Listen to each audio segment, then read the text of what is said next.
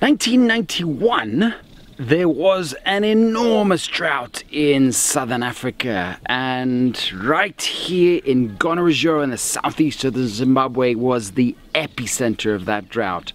I was here at that time, slightly giving away my age, and uh, I remember very well the mass die-off that happened of elephants in this park during that drought.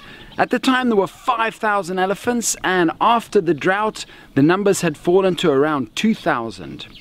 How's it guys, I'm Gus the African Plant Hunter. I'm here in Gonarezhou National Park and I'm just walking through the bush uh, with a ranger, don't ever walk alone, um, and came across this site and just wanted to tell you about it. This of course behind me Adansonia digitata, this is a baobab tree.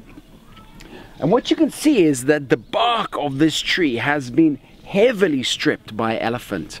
Um, actually damaging the tree. Now the, the tree is very resistant to this elephant damage but at some point if the elephant keep going in and in and in eventually the tree's gonna die.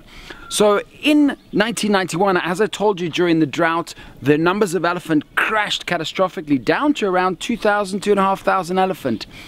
Now, with the excellent management of the Gonarezhou Conservation Trust in the last few years, elephant numbers have risen dramatically and there are now in this 5,000 square kilometer park over 12,000 elephants, which is a wonderful thing for the elephant population, but not so great for the baobab population. They're really struggling.